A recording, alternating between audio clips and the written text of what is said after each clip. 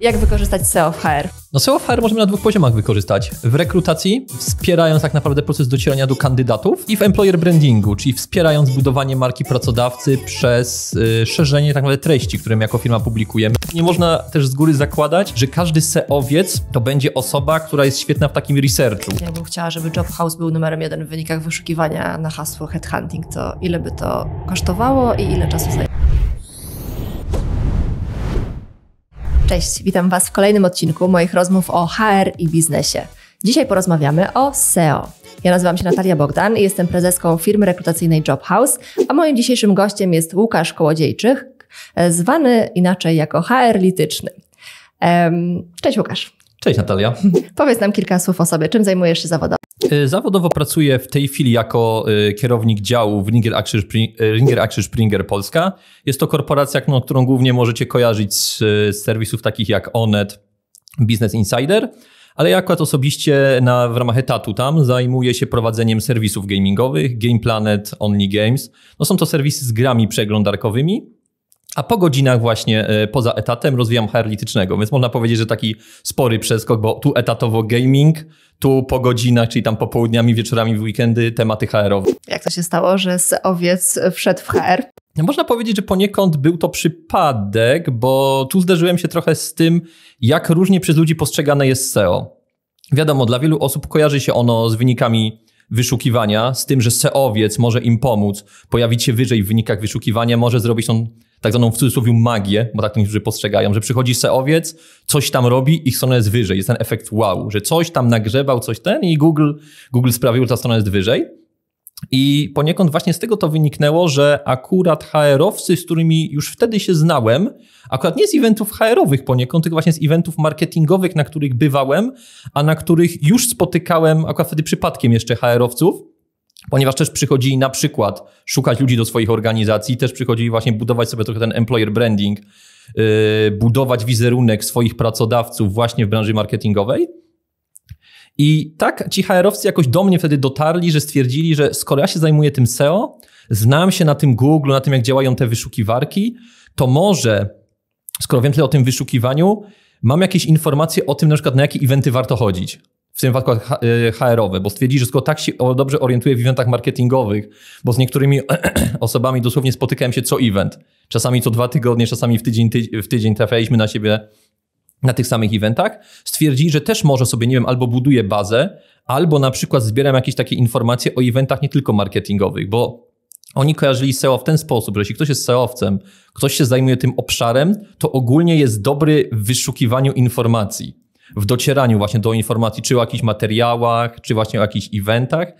No i ja mogę stwierdzić z mojej perspektywy, że z jednej strony się to faktycznie te obszary poniekąd łączą, no ale z drugiej nie można też z góry zakładać, że każdy SEOwiec to będzie osoba, która jest świetna w takim researchu, bo bycie SEOwcem buduje te kompetencje z jednej strony, ale z drugiej strony bycie SEOwcem, no wiadomo, też nie wymusza na tobie tego ciągłego researchu, zwłaszcza w takich obszarach niezwiązanych z SEO, no bo wiadomo, że SEOwiec będzie prowadził research w swoim obszarze, bo będzie chciał się rozwijać, z, y, znajdować nowe materiały, nowe jakieś wydarzenia branżowe, właśnie nowe podcasty.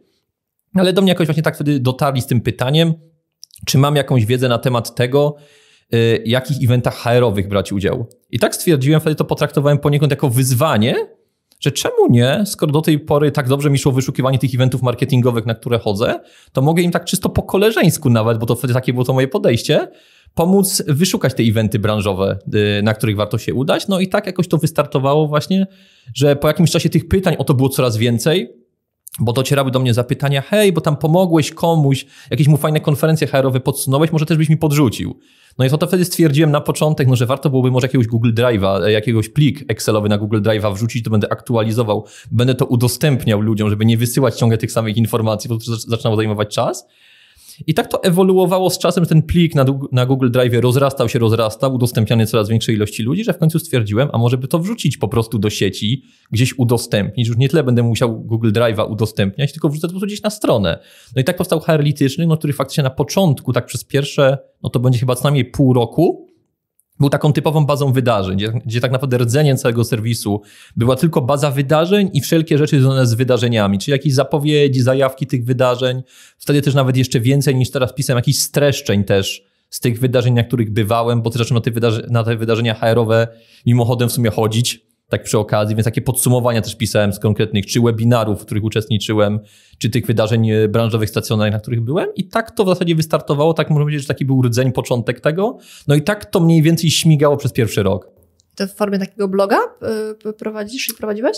To nawet nie wiem, czy wtedy bym to blogiem nazwał, bo tak naprawdę główną podstroną tej strony wtedy, tego serwisu, była ta baza wydarzeń, która tak Mhm. naprawdę była w formie takiej prostej tabelki. Nawet do dzisiaj to jest w formie takiej prostej tabelki, bo dopiero pracuję nad taką wersją, bym powiedział w cudzysłowie 2.0, gdzie będzie chociażby wyszukiwarka, bo wiem, że to jest coś, czego brakuje, no bo w tej chwili, o ile dobrze pamiętam, to takich bieżących wydarzeń tam jest ponad setka, więc o ile ktoś dzień po dniu przeglądając znajdzie sobie coś fajnego, no to zdaję sobie sprawę, że jeśli ktoś na przykład chciałby wyszukać coś tak bardziej, w bardziej spersonalizowany sposób, bardziej pod siebie, bo na przykład interesują go załóżmy employer brandingowe wydarzenia, no to to już może być trochę ciężkie, no bo u mnie trzeba całą długą tabelkę przejrzeć, żeby znaleźć coś dla siebie. Albo lokalizacja, jeżeli ktoś jest... Albo po lokalizacji, no bo u mnie jest to właśnie w tej... tabelce, no ale też nie da się tego w tej chwili wyfiltrować. Okej. No trzeba sobie ręcznie przeglądać, na przykład szukając, nie wiem, czy online'owych wydarzeń, bo kogoś takie interesują, czy w Warszawie, czy w Krakowie, czy w dowolnym innym mieście, które akurat dla kogoś będzie odpowiednie.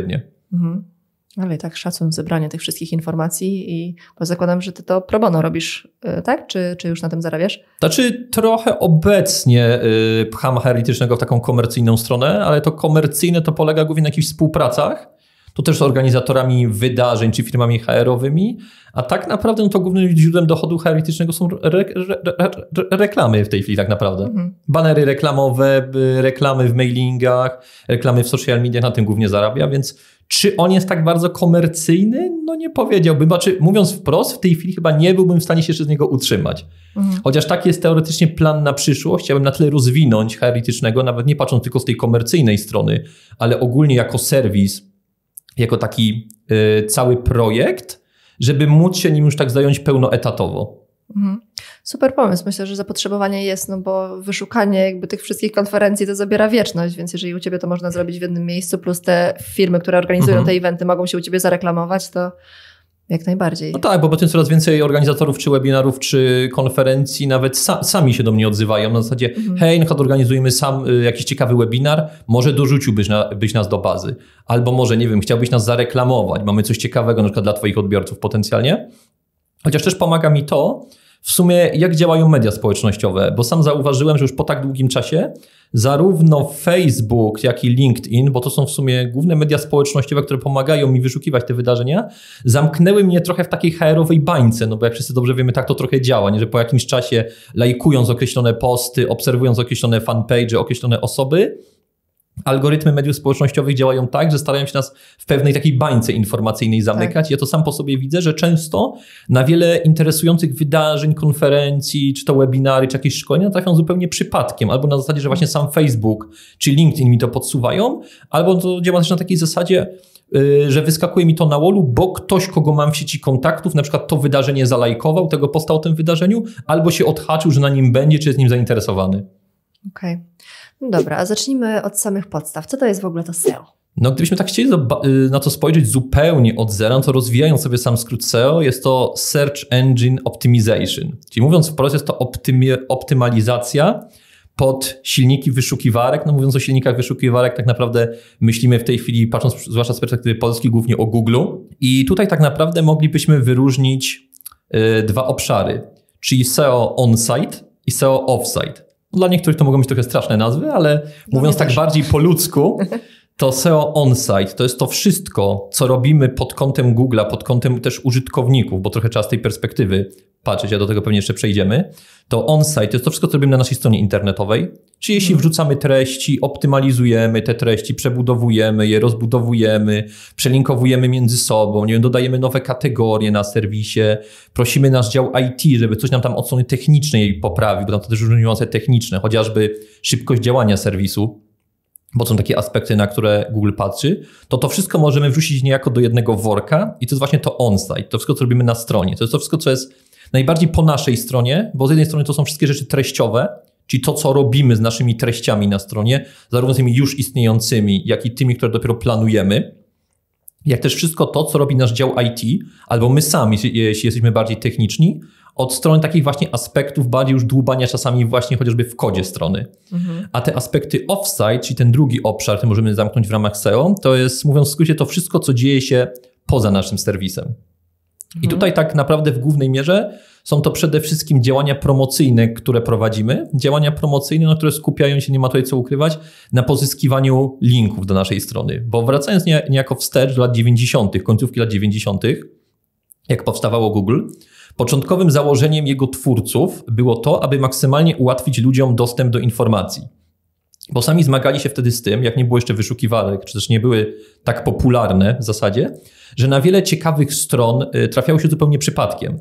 I to były czasy, gdzie popularne były katalogi stron, gdzie na przykład, nie wiem, szukałaś stron o artykułach dziecięcych, to nie było tak jak teraz, że prosto mogłaś sobie to wrzucić w Google i dostawałaś konkretny wykaz stron, tylko wchodziłaś na taki katalog stron i przeglądałaś sobie strony, które tam są skatalogowane pod konkretną kategorią, licząc, że może trafisz coś, gdzie będzie akurat coś, co cię interesuje, co jak łatwo się domyślić, no to często było takie trochę chodzenie na chybił trafił mhm.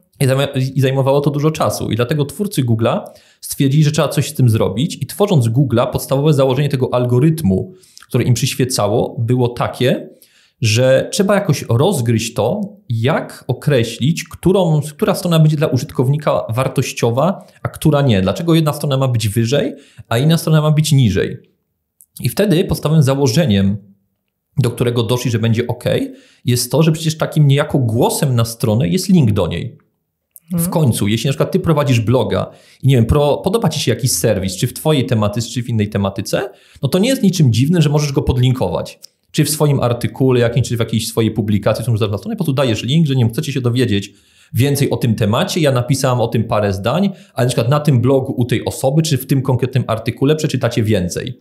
Mhm. Więc niejako oddajesz głos na tą stronę, czy to będzie Wikipedia na przykład jako rozwinięcie tematu jakiejś definicji, czy jakaś konkretna strona, że linkując do niej wskazujesz, ok, to jest strona warta zainteresowania. I oni właśnie na to zwrócili uwagę i stwierdzili, że jeśli strona A linkuje do strony B, to to jest niejako głos strony A na stronę B. Jeśli takich głosów nagle stwierdzimy, że nie wiem, 70 tysięcy, bo do tej strony, do tego artykułu linkuje 70 tysięcy stron, no to znaczy potencjalnie, że tam jest jakiś bardzo wartościowy artykuł, albo ta strona ogólnie jest bardzo wartościowa, czyli warto ją na tą daną frazę, która będzie z tą stroną powiązana, wyświecić maksymalnie wysoko, bo skoro tylu twórców blogów, tyle jakichś większych serwisów, portali podlinkowuje tą stronę, czy jako źródło, czy jako coś wartego zainteresowania, no to to jest sygnał, ok, czyli na przykład tamten temat jest na tyle dobrze opracowany, na tyle wyczerpujący, że skoro ludzie tak masowo linkują, to dajmy to wysoko użytkownikom, niech, użytko, niech więcej użytkowników o tej stronie się dowie. No i niestety, choć początkowo te założenia były słuszne, tak też moim zdaniem, no to z perspektywy czy właśnie specjalistów SEO, czy nawet osób, które już mają jakieś chociażby blade pojęcie o marketingu internetowym, yy, wiemy, że poszło to trochę w złą stronę, no bo wyszło na to, że przy takim założeniu algorytmu dość łatwo tym manipulować. Nie, no bo nie jest na dobrą sprawę niczym trudnym. Skoro wiemy, że te linki działają, te linki mogą wybustować tą naszą stronę, wypchnąć ją jak najwyżej w wynikach wyszukiwania, no to nie będzie niczym trudnym postawienie nawet paru takich niby swoich stron, które będą do tej strony linkowały. Czyli tworzymy jakby dodatkowe mhm. serwisy, które linkują ten nasz główny serwis, bo chcemy go popchać wyżej. No i akurat w branży SEO się nazywa budowaniem zaplecza. Czyli załóżmy, że no taki serwis jak wasz macie, Job House, mhm. i chcecie go wypchnąć w Google wyżej na frazy związane z wynikami wyszukiwania no to możecie robić wszystko, co się da pod kątem treściowym, czyli wrzucać artykuły, prowadzić bloga, optymalizować tą stronę, tak żeby pod kątem samej strony była po prostu na cacy z perspektywy Google, no ale zostaje właśnie ten drugi obszar, czy inni do Was linkują. Czy jesteście na przykład taką marką na, przykład na rozpoznawalną, że nie wiem, czy serwisy związane z pracą inne Was polecają, czy jakieś blogi, portale naokoło tej tematyki linkują do Was, czy pozyskujecie skądś linki. No i z jednej strony założenie Google'a było takie, że będzie się to odbywało na sobie w uczciwy sposób, czyli że te linki będą na naturalne, że skoro macie link skądś, to znaczy, że ten serwis was polecił, bo albo nawiązaliście, nie wiem, współpracę, albo po prostu stwierdził, nie wiem, wejdźcie na Job House, bo tam znajdziecie najwartościowsze oferty pracy, pracy. Jakiś mhm. blog na przykład tak stwierdził. No ale z drugiej strony właśnie, no i to w branży SEO się zaczęło dość szybko dziać, zaczęto stawiać po prostu dodatkowe strony, których założeniem było linkowanie do tej strony głównej. Więc to jest tak przekładając na wasz rynek niejako, gdybyście mając Job House stwierdzili, no nie wiem, nie chcemy robić działań wizerunkowych, albo nie wiem, inni nie chcą do nas linkować na przykład, nie wiem, tam, tam ta konkurencja jest popularniejsza, wolą linkować do nich, to stwierdzacie, a to sobie postawimy parę blogów na przykład o tematyce szukania pracy, na zupełnie osobnych domenach będziemy i będziemy linkowali z tych blogów, polecali wszędzie, wejdźcie na Jobs House, zobaczcie oferty pracy na Jobs House. No i w tym wypadku, patrząc z perspektywy właśnie branży SEO, można by to było nazwać budowaniem zaplecza. No i Tutaj jest ta kwestia kluczowa, że z jednej strony niektórzy będą mówili, że o, nie warto tego robić, to jest złe, to już wchodzi jako black hat SEO, tak zwane, czyli te takie złe praktyki, jakby to Google nazwał. I sam z perspektywy teoretycznie Google'a nie jest to dobre, bo wszędzie Google podkreśla w swojej dokumentacji, że linki powinno się zdobywać w naturalny sposób. No ale ja sam wiem e, z doświadczenia też z projektów, które prowadziłem, no że niestety prawda jest taka, że to naturalne linkowanie i fakt, że tylko ono by działało, a to jest złe i to Google będzie na to reagował, będą kary, będą filtry na tą stronę, no to nie jest prawda, bo sam widziałem wiele stron i sam nawet prowadziłem wiele projektów, gdzie takie strony się budowało. No i prawda jest taka, że to przynosiło efekty. Więc ja mogę nawet powiedzieć z perspektywy mojej jako SEO, który praktycznie 10 lat przepracował w branży, że to trzymanie się tylko założeń Google'a, że tylko to jest y, z perspektywy Google'a legalne, tylko to jest dobre, tylko to jest ok, za to nie będzie kary, okej, okay, można tak robić i można mieć efekty, bo tak na przykład robię przy litycznym i to efekty przynosi, bo linkują mnie serwisy branżowe, ale nikt nie mówi tak naprawdę, że to, że będziesz coś robiła niejako już w tej takiej szarej strefie, jak ja to nazywam, powiedzą, że to jest takie już graj hatseo, czy takie już na, pograniczy, na pograniczu tych legalnych praktyk, Czyli tych takich, nie, nie gdzie czarna, Google... tylko szara. Tak, jest taka szara strefa, nie? Z perspektywy tych praktyk, które Google na pograniczu tego, co Google mówi, że jest OK w dokumentacji Google, tak róbcie, tak pozyskujcie linki, versus to, co Google mówi, że nie, nie powinniście kupować linków, nie powinniście też kupować artykułów sponsorowanych, a jeśli już kupujecie artykuły sponsorowane, to taki link powinien być odpowiednio oznaczony z perspektywy Google. To tak naprawdę ja sam widzę, że to płynne poruszanie się między granicą tych dwóch światów, czyli tego, co Google mówi, że jest OK, a tego, co nie jest ok, też potrafi przynosić bardzo dobre efekty. Tym bardziej, że ja sam widziałem po projektach, które prowadziłem i nawet po projektach w mojej branży, gdzie różne osoby z mojej branży czy z branż naokoło chwaliły się efektami, czasami nawet robienie wszystko zgodnie z zasadami Google'a, gdzie ktoś chce być taki już po prostu do bólu uczciwy, czyli nie kupuje żadnych linków, y, pozyskuje tylko w naturalny sposób, bo prowadzi działania wizerunkowe, takie strony i tak potrafiły w wynikach wyszukiwania spadać. I czasami dojście do tego, dlaczego spadły, potrafiło zajmować naprawdę dużo czasu, no bo niestety z Googlem jest ten problem, w obecnych czasach już zwłaszcza, że jeśli strona poleci ci w wynikach wyszukiwania, nagle na dzień, po prostu do pewnego dnia cieszysz się tym, że masz super ruch, dużo ludzi wchodzi na twoją stronę z organicznych wyników wyszukiwania, nagle na dzień spada ci to, nie wiem, ubywać 40, 50, 60% użytkowników i wtedy zaczyna się wielkie dochodzenie, co się mogło stać. Czyli co takiego ja zrobiłem, zrobiłam, no że Google w cudzysłowie przestał mnie lubić. Dlaczego mnie już nie wyświetla wysoko w tych wynikach wyszukiwania? I czasami to będzie coś oczywistego, że może się okazać, że twój dział IT na przykład czegoś nie dopilnował i jak wypuszczali wersję testową twojej strony, to na przykład do dziś wersja testowa twojej strony stoi sobie na subdomenie i masz taki oczywisty duplikat treści, bo tak naprawdę twoja strona jest dostępna pod dwoma adresami. Na no, Google duplikacji treści nie lubi, czasami, że wskazuje, że nie lubi, bo tutaj też widziałem różne przypadki stron, które jechały na duplikatach, a i tak były wysoko, więc to był chyba temat na dłuższą dyskusję tak naprawdę. Co Google lubi, czego nie lubi, co się udaje, co się nie udaje w tej branży.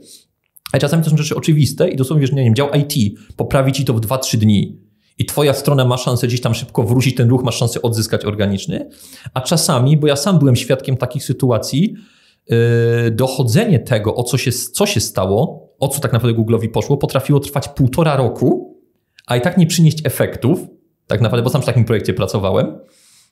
Nie, nie, nie doszliśmy do tego, co się przy tym serwisie stało przez półtora roku. Ten serwis jakby nigdy nic, mimo że nie zostało tak naprawdę nic naprawione, żadne zmiany wprowadzone, po kolejnym pół roku sobie wrócił na dawne pozycje. Hmm. Co potrafiłoby wysnuć taką, taką teorię, że teoretycznie przez te dwa lata moglibyśmy nie robić nic, tylko czekać na to, że Google założy OK, algorytm popełnił błąd, no to was przywrócimy. No tylko wiadomo, w przypadku wielu biznesów jednak dwa lata to będzie koniec biznesu, nie czasami miesiąc czy dwa. Jeśli jakiś biznes na przykład w dużej mierze opiera się na ruchu organicznym, to takie wycięcie mu ruchu organicznego w skali 50-60% to może oznaczać koniec takiego biznesu. Jeśli ktoś na przykład oparł się tylko na działaniach SEO i tylko pozyskuje ruch organiczny, bo na przykład nie, wiem, nie działa w social mediach, nie prowadzi w innych kanałach żadnych działań. Hmm. Teoretycznie, jakbym chciała, żeby Job House był numerem jeden w wynikach wyszukiwania na hasło headhunting, to ile by to kosztowało i ile czasu zajęło? No to będzie to właśnie złożona kwestia, bo co do tego, ile czasu to zajmie, to ciężko przewidzieć. Ale miesiące, szczerze, lata, powiedziawszy. A czy zależy tutaj dużo od serwisu, bo jeśli zakładamy na przykład świeży projekt, który by się stawiało od zera, no to tam w konkurencyjnej branży, a obszar poszukiwania pracy takich zagadnień raczej bym już uznał z perspektywy SEO za mocno konkurencyjny, to przy totalnie świeżym serwisie no liczyłbym to no spokojnie powyżej roku, a nawet zakładał sobie taką perspektywę rozpisania całej strategii na przynajmniej jakieś 24 miesiące. W przypadku takiego serwisu jak wasz, który już istnieje. 12 lat. No macie już, więc jak to się mówi, taką domenę z historią, bo to się ładnie nazywa z perspektywy, to jest domena z historią, czyli domena, która już istnieje właśnie te ileś lat. No i co, co kluczowe właśnie w przypadku mówienia o domenach z historią jest to, czy na tej domenie przez cały ten okres był ten sam content. I to nie mówię ten sam w sensie, że te same artykuły dokładnie, chodzi mi o tematykę. Bo mhm. czym innym będzie domena z historią, gdzie na przykład, nie wiem, kupiliście sobie domenę od kogoś i ta domena załóżmy ma 12 lat, ale, przykładowo, ale mhm. przykładowo, nie wiem, tam ktoś sobie prowadził bloga o wędkarstwie, bo już, takie, już takie przykłady trafiałem, że sam jak przechwytywałem domeny, to potrafiła być domena z job w nazwie, Czyli typowo sugerująca, że byłoby tam coś związanego z pracą, a potrafiły tam być sklepy z zabawkami wcześniej postawione. Więc miałem już takie przykłady, że to, że sobie znajdziesz domenę z historią, jeszcze nie oznacza, że ona będzie super wartościowa, bo się może okazać, że tam był jakiś content wcześniej, ta domena była nawet sensownie prowadzona, ale to był content zupełnie innej tematyki. Ale jeśli już mówimy o takiej domenie z historią, powiedzmy takiej jak wasza, gdzie na przykład ona istnieje 12 faktycznie lat i tam był od samego początku, a przynajmniej, przynajmniej od kilku lat, content typowo związany z tą branżą, w której działacie, no to wy już macie ten atut, że w przypadku waszym takie działania mogły być dużo szybsze i teoretycznie nawet mogłyby przynieść już pierwsze efekty po kilku tygodniach,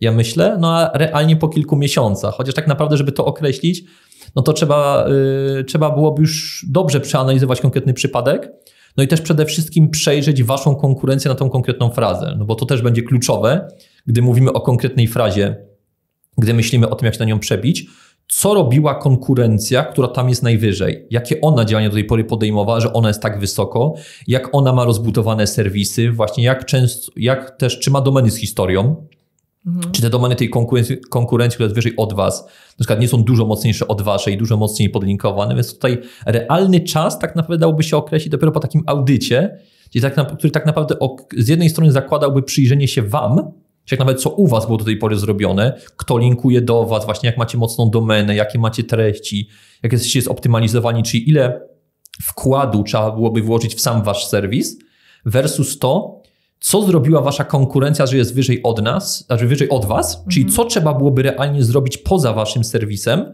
żeby tą konkurencję wyprzedzić.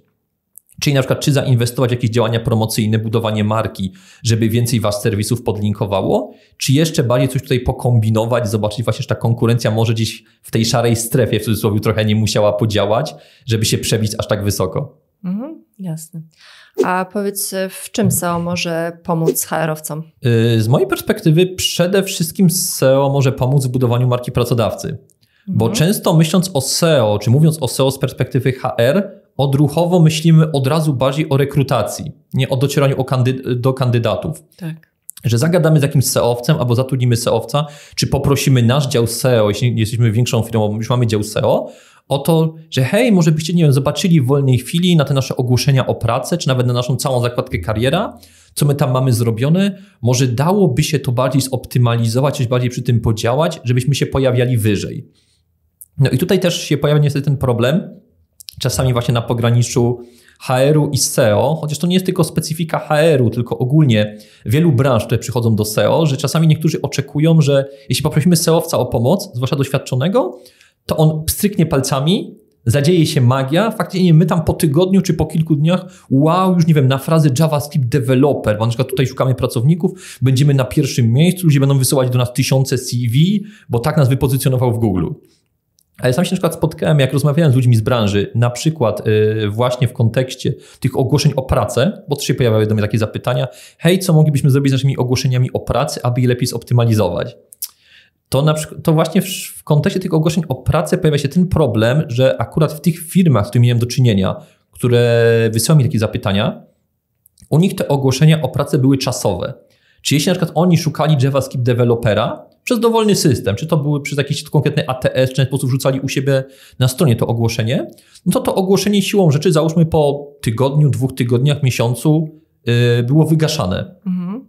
Ono znikało z serwisu. I albo było totalnie usuwane, czyli jeśli ktoś powiedzmy za dwa miesiące na ten adres by wszedł, to dostał tylko błąd, że taka strona nie istnieje, mhm. albo było wygaszane na zasadzie, podróż takie praktyki, że był tylko komunikat wyświetlany, że hej, ogłoszenie, na które właśnie wszedłeś, ogłoszenie, na które właśnie patrzysz, jest nieaktualne, ale może zainteresują Ci inne nasze ogłoszenia. Mhm. I problem y, właśnie z optymalizacją takich ogłoszeń byłby taki, że dobra, można byłoby przy nich podziałać, coś z tą treścią pokombinować, podlinkowywać te ogłoszenia.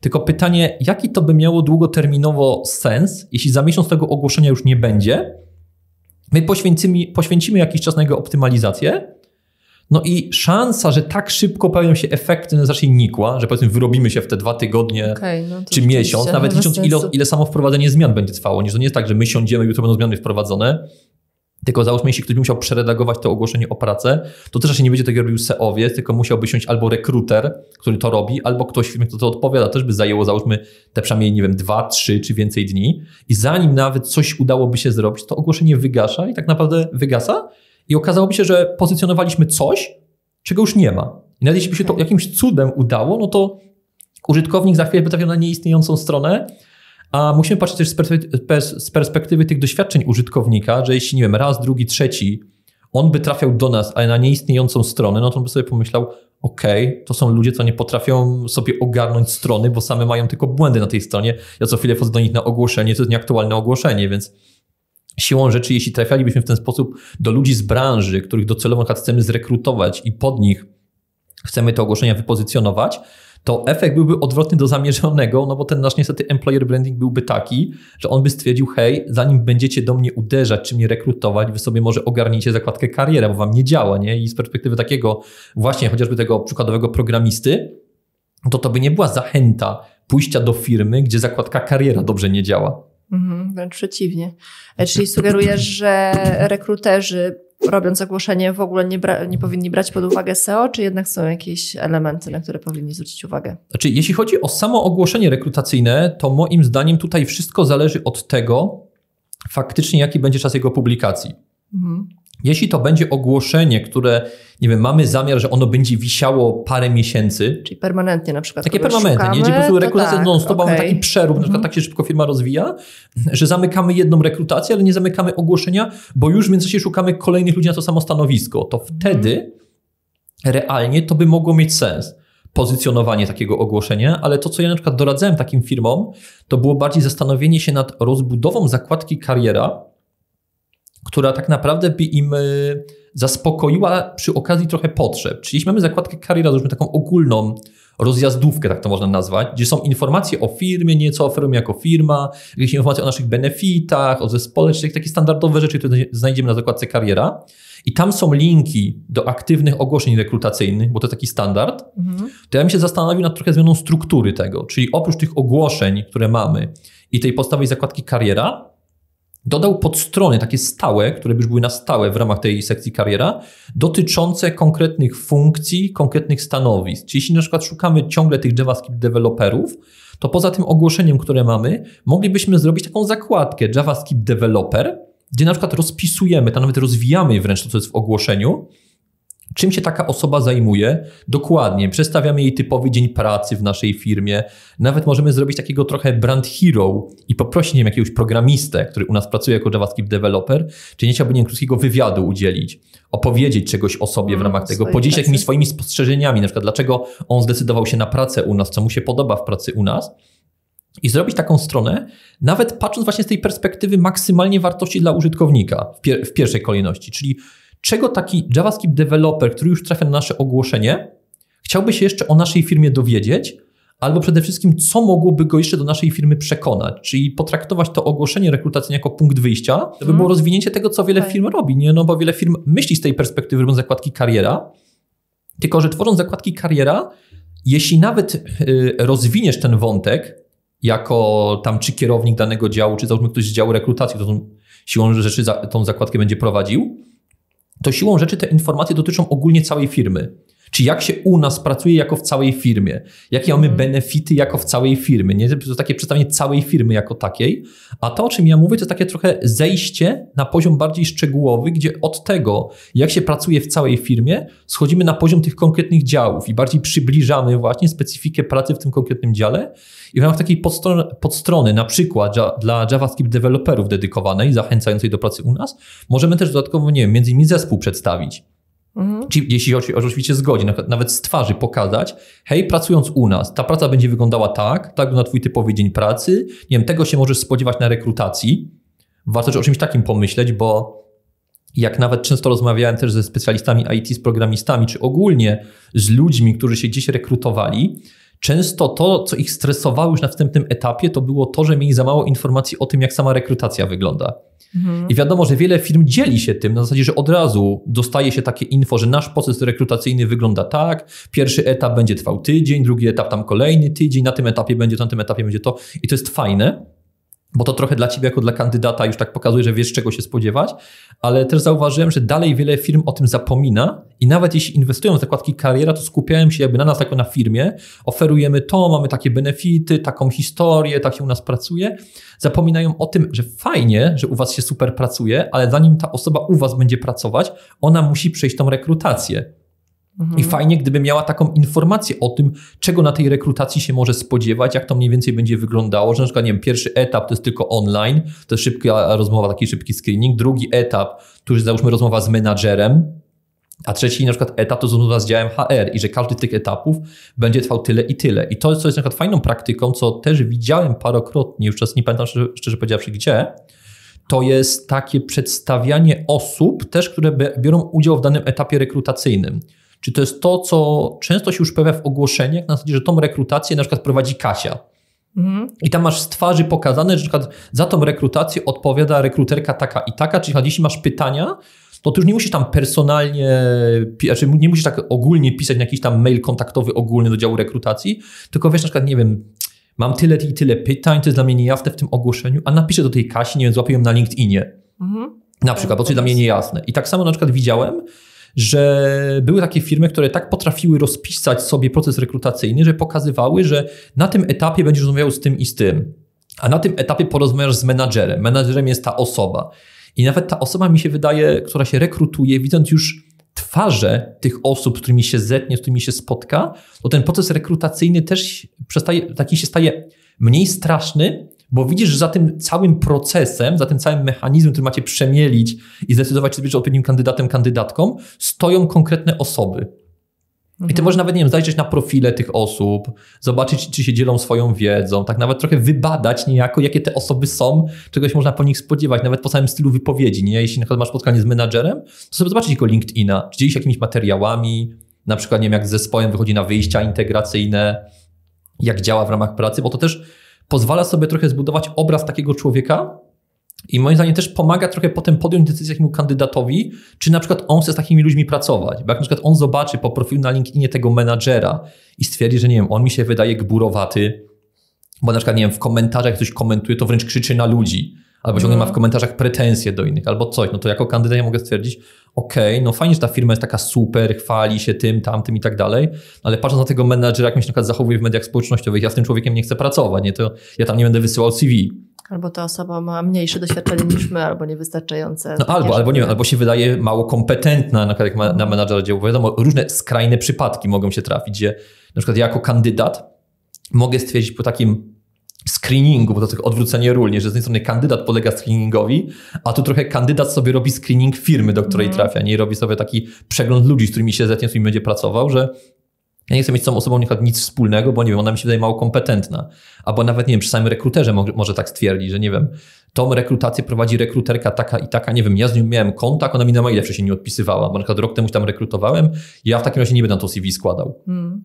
A z drugiej strony może to zadziałać w drugi, y, też w drugą stronę oczywiście, że jeśli zobaczę jako kandydat, nie, że ten menadżer jest super, dzieli się wiedzą, nie wiem, ciągle gdzieś z zespołem, jakieś go karty, nie go karty wychodzą, ciągle jakieś aktywności poza firmą, to będę miał takie ok, czyli to, co oni piszą na zakładce kariera na stronie, to nie są takie puste hasła, tylko to faktycznie dzieje się w rzeczywistości, na te benefity, typu tam częste wyjścia integracyjne, to nie są takie puste slogany, tylko to się faktycznie w tej firmie dzieje. Zwróćcie uwagę na ciekawą rzecz, że często my, rekruterzy, mocno bardzo screenujemy tego kandydata, a tak naprawdę on nie za wiele wie o naszej firmie i mhm. trochę aplikuje w ciemno. No tak, dokładnie. E, I dzięki takim działaniom może, może rzeczywiście to lepiej, lepiej iść. I właśnie myśląc o SEO, też mi się wydaje, że to, na czym, na czym się powinniśmy skupić, to trochę nie myśleć w 100% tylko o SEO z perspektywy tego, że musimy być jak najwyżej na te wszystkie frazy w wyszukiwarce, musimy być tu wyżej od naszej konkurencji, tylko też już na samym początku zastanowić się nad tym, bo to jest z mojej perspektywy kluczowe w myśleniu o SEO, jaką my chcemy dać wartość odbiorcy.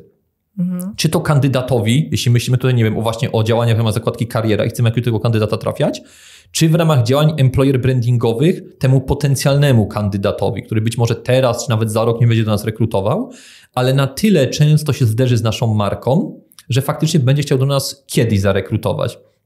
I o tym employer brandingu właśnie nie przez przypadek wspominam, bo często myślenie o SEO tylko z perspektywy rekrutacji to jest moim zdaniem trochę już myślenie o tym temacie zbyt późno. Mhm. Nie, bo wiele się mówi o tym, jak wygląda cykl życia kandydata. Bo wiadomo, że już nie są te czasy, gdzie większość z nas pracuje w jednej firmie 40 lat, jakimś państwowym konsorcjum, tylko często zmieniamy pracę co rok, co dwa, co trzy lata, czyli w ciągu tego całego cudzysłowie cykla, cyklu życia, tego cyklu naszej kariery, tą pracę zmienimy iluśkrotnie. Mhm. I bardzo często jest tak, ja sam e, miałem takie sytuacje już u siebie, jak zastanawiałem się, gdzie rekrutować, zmieniając pracę, że o jakiejś firmie myślałem z perspektywy, że ich już kojarzyłem, na przykład z jakichś działań, czy w social mediach, które robili, czy na przykład z jakichś serwisów, które prowadzili. Ich kojarzyłem dzięki temu, że to jakaś fajna firma, bo na przykład, nie wiem, y, prowadzili fajny serwis marketingowy, załóżmy jakiegoś, jakiegoś bloga o tematyce marketingowej, dzielili się naprawdę super wiedzą, jakieś takie smaczki dawali, które są tylko dostępne na, na konferencjach, w kuluarach, nie ma tego w takich normalnie dostępnych artykułach, y, takich pierwszych, lepszych, które znajdziesz w sieci. Już myślałem o nich z perspektywy, kurde, tam pracują super specjaliści, ja chciałbym u nich pracować, na przykład szukając pracy. Na przykład wtedy trafiąc na tego bloga nie szukałem pracy, ale za dwa lata już sytuacja się zmieniła, szukałem pracy i na przykład oni się stawali moim pierwszym wyborem, mhm. bo ja na przykład kojarzyłem z tego bloga, którego prowadzili, gdzie specjaliści od nich dzielili się wiedzą, czyli już w moich oczach budowali sobie odpowiednio wcześniej ten wizerunek firmy, która zatrudnia naprawdę super specjalistów, czyli ludzi, od których ty jako dochodząca tam osoba nowa może się naprawdę wiele nauczyć. Więc myśląc o SEO, mi się wydaje, że to trzeba by też było wpleść w całą taką strategię tego, jak my na przykład jako dział HR w ogóle myślimy o pozyskiwaniu ludzi do firmy.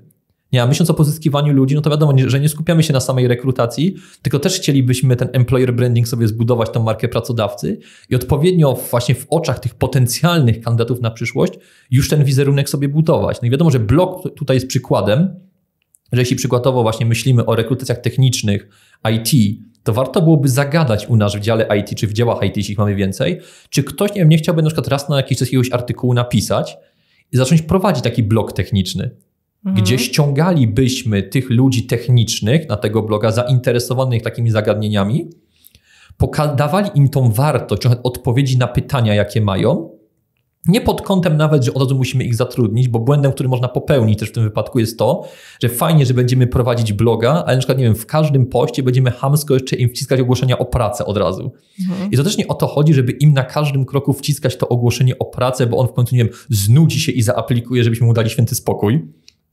W cudzysłowie, tylko chodzi o to, żeby on się przekonał do tego do firmy, że my nie robimy wszystkiego, żeby go zrekrutować. On nie jest dla nas produktem niejako, bo też się spotykałem trochę... Yy, z takimi spostrzeżeniami ludzi, to nie mówię o IT, tylko z przeróżnych branż, że oni czasami trochę się czują traktowani jak produkt. I to nawet nie jest wiadomo zarzut do branży, bo to są pojedyncze przypadki, to jest bardziej zarzut y, do konkretnych osób, nie, z którymi się stykali konkretny, y, przy, przy okazji szukania pracy że czasami się właśnie tak czuli traktowani przez rekruterów, rekruterki, którzy do nich pisali, że dla nich są takim produktem, że ten rekruter, rekruterka tylko ich ciśnie, a weź, wyślij to CV, ja ci powiem więcej, ale wyślij to CV, ja chcę mieć twoje CV i tak dalej. I tak czuli, że oni są tym produktem, że jak wyślą CV, ok, to oni już swój cel zrealizowali, nie? bo ten rekruter dostał CV, on się może z tego rozliczyć potem, że jeśli CV dostał. I my powinniśmy się właśnie jako firma pokazywać z tej perspektywy, że my ci dajemy wartość. Nie, ty jesteś tym programistą, trafiasz na jakieś problemy, no bo wiadomo, czym mniej trzeba być doświadczony programista, zawsze się zetknie z czymś, czego nie będzie wiedział, czego nie będzie umiał, zacznie tego szukać. Czy od razu na portalach branżowych, czy na jakichś grupach tematycznych, czy na serwisach typu Stack Overflow, wiadomo, niepopularny w, popularnym w gronie IT.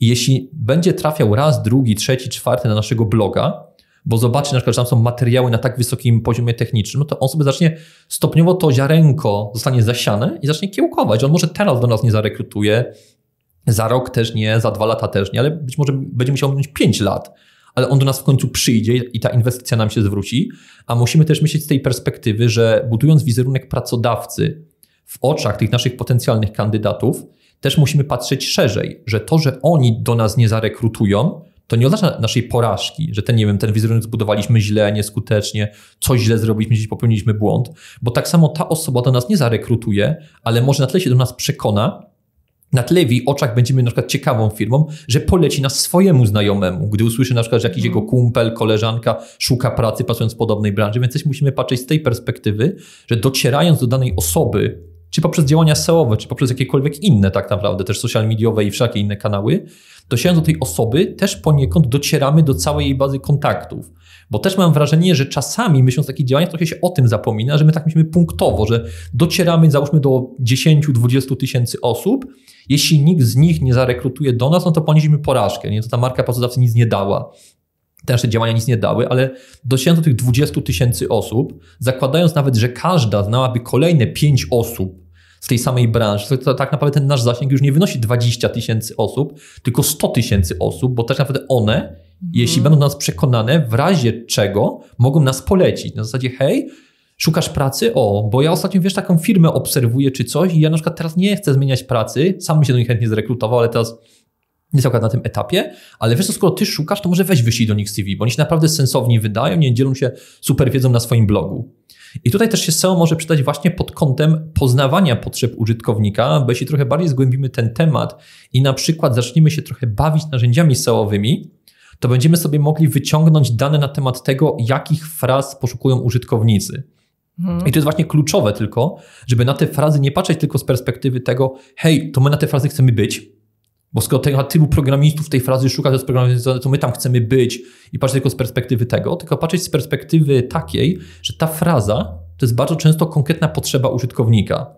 I tu na przykład, jeśli chcemy do tego już omawianego działu IT rekrutować i chcemy tworzyć blog pod tym kątem, to warto byłoby zagadać do ludzi z IT najlepiej, zapytać się, czego oni na przykład szukają, nie wiem, czy w kontekście Java, JavaScriptu, tego języka programowania, na którym nam zależy, czego oni szukają w Google, jakiego typu zagadnień, to mieć jako wkład i wykorzystać odpowiednie narzędzie, które na bazie tego podstuje nam całą listę fraz, czyli całą listę niejako tematów, takich zagadnień, których ci ludzie szukają i na przykład warto byłoby te zagadnienia na tym blogu poruszyć. Zagadać właśnie z tymi ludźmi z naszego IT, czy ktoś, nie wiem, nawet raz w miesiącu, raz na dwa miesiące, powiedzmy, dana osoba nie chciałaby takiego artykułu napisać do nas na bloga, żeby nam pomóc trochę w budowaniu tej marki pracodawcy. No i wtedy wiadomo też warto by się było zastanowić, jak na przykład tych pracowników, którzy się będą chcieli w coś takiego włączyć, dodatkowo zacząć wynagradzać, nie? że hej, napisałbyś tam artykuł raz w miesiącu, nie wiem, dostaniesz za to dzień wolnego dodatkowy. Fajny pomysł.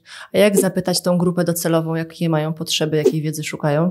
Gdzie o to zapytać? Bezpośrednio? No mi się wydaje, że jeśli jesteśmy większą firmą, to najlepiej, ja bym nie szukał daleko, to na przykład naszego działu IT wewnętrznego zapytał, okay. jeśli takowy mamy, ale jeśli na przykład jesteśmy jakąś mniejszą organizacją, powiedzmy na przykład tylko agencją pośrednictwa pracy, mm. agencją rekrutacyjną i nie, nie mamy wewnętrznego działu IT, nie mamy pod ręką kogo podpytać, to tak samo można byłoby chociażby na grupy, na grupy branżowe uderzyć. Na Facebooku. A czasami, bo to chociaż to będzie zależało od naszej grupy kontaktów, mógłby być już zupełnie wystarczający wręcz nawet e, LinkedIn czy Facebook. Post po prostu. Tak, wróćmy takiego posta, że nie wiem, e, pracujemy obecnie nad czymś takim, i potrzebowalibyśmy pomocy, rady, na przykład, nie wiem, co interesuje właśnie działy IT, czy co interesuje stricte programistów, o czym chcielibyście poczytać.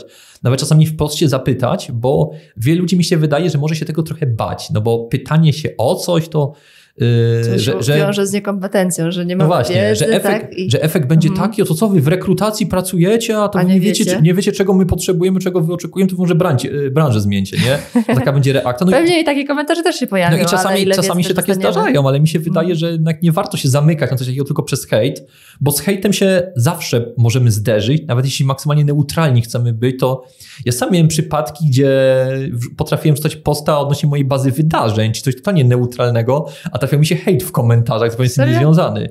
Na zasadzie, o, bo wy tam w branży HR to jesteście kółkiem wzajemnej adoracji, no, coś tam, no, coś takiego. Do, nawet nie do mnie personalnie hejt, tylko po prostu, bo ktoś się na branży HR potrzebował wyżyć, a akurat mi się mój post wyświetlił, nie? I, więc my tak też nie ma co zamykać, bo się może hejt trafić, bo on się może nam trafić, nawet jak nic nie będziemy robić.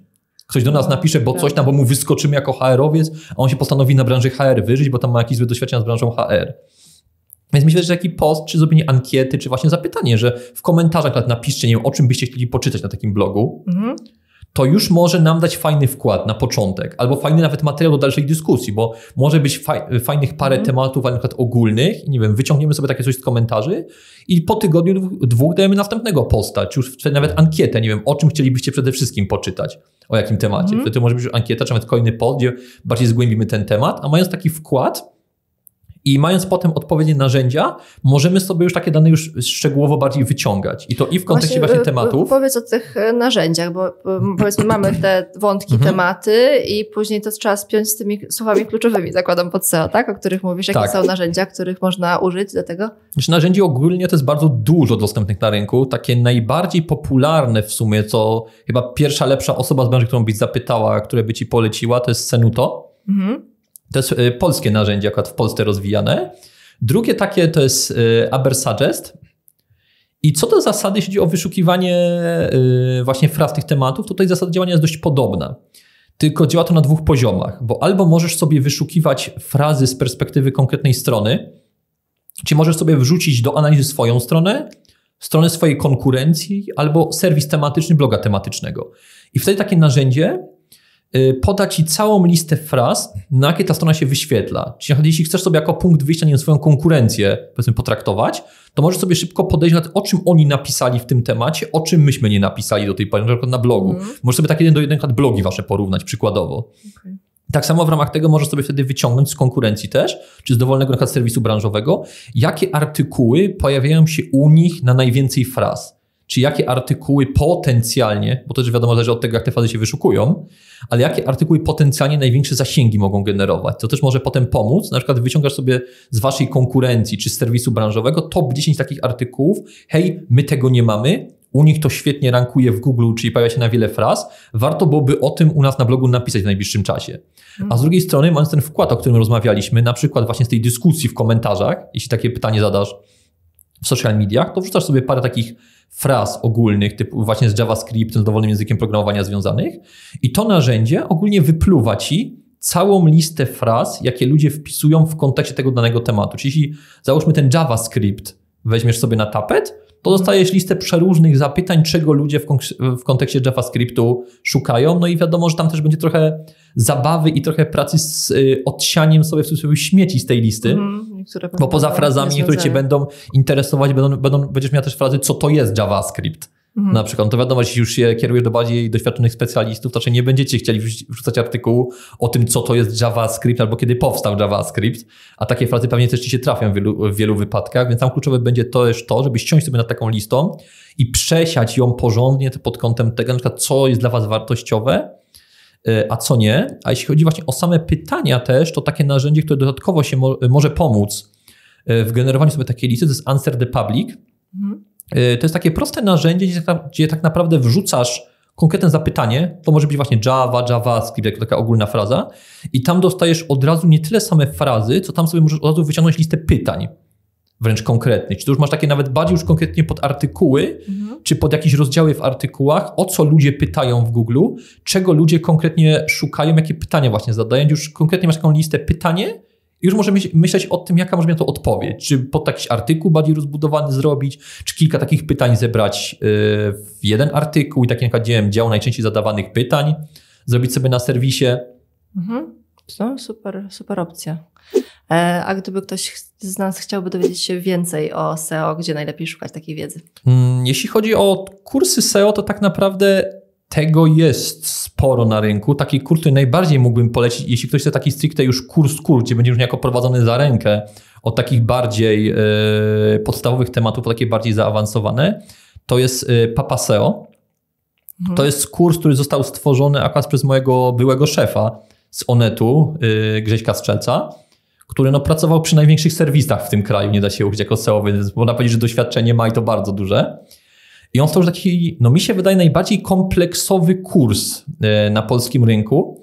Jeśli ktoś tak właśnie chce przejść sobie przez te wszystkie kluczowe tematy i tak niejako właśnie być prowadzonym za rękę, no bo ogólnie dużo materiałów w sieci się znajdzie, więc jeśli ktoś się uprze, że nie chce płacić, bo to jest kurs płatny, jeśli ktoś nie chce płacić, nie chce wydawać kasy, to tak naprawdę bardzo dużo wiedzy znajdzie w internecie chociażby na YouTubie. Tutoriali jest bardzo dużo.